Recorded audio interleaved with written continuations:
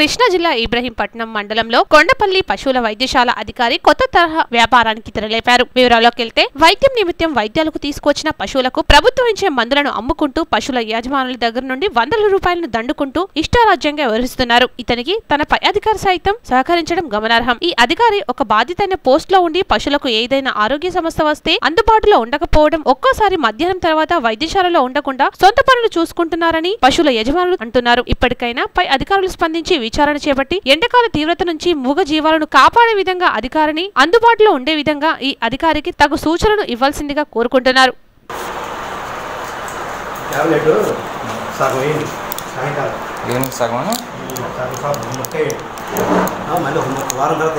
వారం తర్వాత మళ్ళీ ముక్క?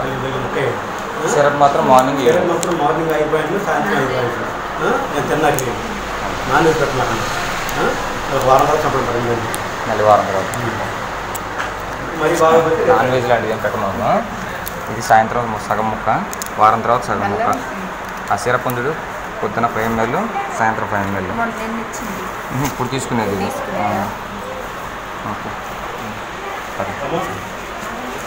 అంతే. కాదండి కదా గవర్నమెంట్ హాస్పిటలే కదండి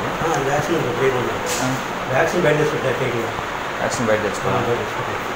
ఇక్కడ ఇక్కడే ఇచ్చారు కదా. ఇక్కడే ఇచ్చారు కదా బయట తెచ్చుకోలేదు కదా. నేను బయట తెచ్చి చెప్పాను నేను చెప్పాను ఆయన చెప్పాను బయట తెచ్చి ఆ, గవర్నమెంట్ హాస్పిటల్ అన్నీ ఫ్రీ కదండి యాక్చువల్గా. వ్యాక్సిన్ కదా ఎక్కడ ఉండదు. ఇక్కడే కాదు. ఇక్కడ దొరకదు అది.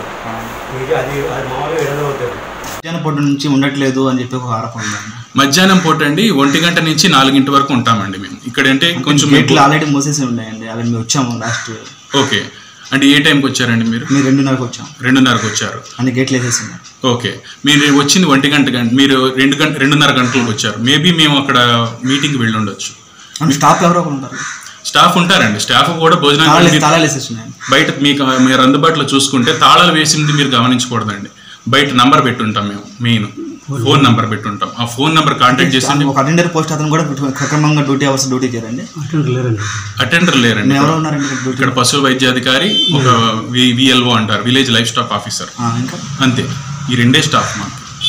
తర్వాత కుటుంబరావు అని ఒక ఆయన ఓఎస్ ఉంటారు. ఇక్కడ weekly once weekly alternate days పనిచేస్తారు కుటుంబరావు గారు అని. ఆయన ఓఎస్ ఆఫీస్ సబార్డినేట్ ఇక్కడ ఆర్ఎల్యు అంటే రూరల్ లైఫ్ స్టాక్ ఏమైనా త- ఏమైనా ప్రాబ్లం వచ్చి వస్తే ఇక్కడికి. ఎవరు దానికి అంటే మీకు ఫోన్ చేసి వచ్చే లోపల ఏమైనా చనిపోతే కానీ అలా- అలాంటి ఇంతవరకు జరిగింది ఎందుకంటే కీడించి మెడిసిన్ బెటర్ కదా. కీడించి మేలించడం బెటర్ అనేది అన్ని అన్ని విధాల అన్ని అన్ని పరిస్థితుల్లో కుదరదండి అది. కీడించి మేలించడం అనేది ప్రతిసారి మీరు చూసుకుంటే మేము ప్రతిసారి మీ అందుబాటులో ఉంటాం. మా ఫోన్ ఎప్పుడు రింగ్లో ఉంటుంది. మా ఇక్కడ కాదని కాకపోయినా ఈలప్రోల్ ఉంటుంది గుంటపల్లి ఉంటుంది తర్వాత ఇబ్రహీంపట్నం హాస్పిటల్ ఉంటుంది. వీటన్నిటిలోనూ చూసుకుంటే మీరు ఎప్పటికప్పుడు మీరు అందుబాటులోనే ఉంటాం మేము. మీరు ఏనాడైనా చూసుకుంటే మా అటెండెన్స్ రిజిస్టర్ కానీ మా కానీ పొద్దున పూట వస్తున్నారు మధ్యాహ్నం పూట అందుబాటులో ఉండటం ఆరోపణ. మధ్యాహ్నం అది ఆరోపణ కాదండి. అది అవైలబిలిటీ అది ఎత్తు ఎప్పు- ఎట్టి పరిస్థితుల్లో ఆరోపణ కాదు. మీరు ఎప్పుడైనా సరే రైతులకి అందరి దగ్గర ఫోన్ నెంబర్ ఉంటుంది. కాబట్టి మీరు ఆ సంబంధిత రైతు ఎవరో చూపించండి. ఆ రైతు ఎవరు ఆరోపణలు అనేవి జనరల్గా మాట్లాడతారు. ఒక మనిషి రైతు వచ్చి మాకు మధ్యాహ్నం పూట మీరు ఉండట్లేదు డాక్టర్ గారు అని ఈనాడు ఒక పొద్దున్న మరి మధ్యాహ్నం పూట రాకపోతే మరుసటి రోజు పొద్దున్న వచ్చి మీరు ఎందుకు రాలేదు? చెప్పేదండి మధ్యాహ్నం పూట మాకు అందుబాటులో ఉంటారు డాక్టర్ గారు. పొద్దున పడేది మాకు వెళ్ళు బాగానే చూస్తున్నారు అని చెప్తున్నారు మధ్యాహ్నం పూట మాత్రం ఎవరు ఉండట్లేదండి అక్కడ. నాలుగింటి వరకు అయితే డ్యూటీ టైమ్స్ ఉండే అని చెప్తున్నారు. ఓకే. మధ్యాహ్నం పూటలు కూడా మేము అవైలబుల్గా ఉంది అంటే కాకపోతే మీ మధ్యాహ్నం లంచ్ టైం ఉంటుందండి. ఒంటి గంట నుంచి రెండు రెండు రెండున్నర వరకు ఉంటుంది. వాళ్ళు ఎట్టి పరిస్థితుల్లో బయట ఫోన్ చేసేస్తారు. ఎందుకండి? తాళం తాళం వేసింది. ఎక్కడ ఉన్నారు మీరంటే మీ ఇక్కడ అన్ని భోజనంకి వచ్చాం. ఇమీడియట్గా వచ్చేస్తాం. మేము అంటే ఫోన్లు చేస్తే కానీ స్పందించారంటారు. ఫోన్లు చేస్తే కానీ స్పందించరని కాదండి. ఇప్పుడు భోజనం అనేది అన్నిసార్లు ఇప్పుడు మేము భోజనంకి వెళ్ళొచ్చు. ఒక్కొక్క మా అటెండర్ ఒక్కొక్కసారి భోజనంకి వెళ్ళొచ్చు. అంత మాత్రం చేత అసలు అసలు డ్యూటీయే చేయట్లేదు అనడం చాలా మీరు మీరు ఎక్కడండి ఉండేది? నేను ఉండేది ఇక్కడేనండి చిట్టినగర్ దగ్గర. Government employee as per employee ప్రకారం లోకల్లో ఉండాలి కదా? లోకలేనండి లోకల్ అవైలబుల్ బైక్ మీద వస్తాను నేను బైక్ మీద వెళ్తాను. డైరెక్ట్లీ మేము ఆఫీస్ అవర్స్లో ఆఫీసులో ఉంటామండి.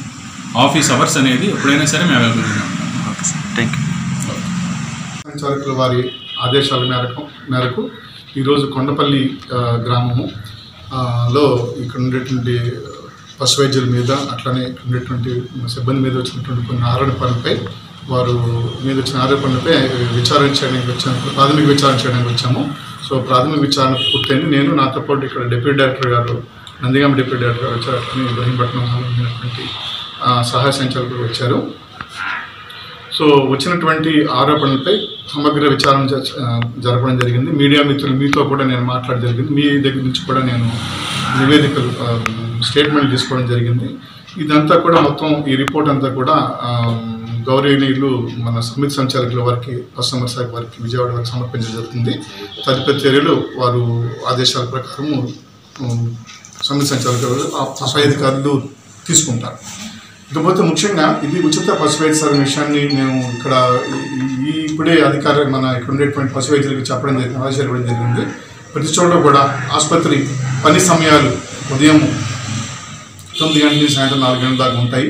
ఒకవేళ వారు లేని సమయంలో అత్యవసరంగా ఏదైనా పని మీద వారు ఏదైనా అత్యవసర కేసు చూడడానికి వెళ్ళినప్పుడు వచ్చినప్పుడు వారి యొక్క ఫోన్ నెంబర్లు అవన్నీ కూడా డిస్ప్లే చేయమని చెప్పేసి చెప్పడం జరిగింది.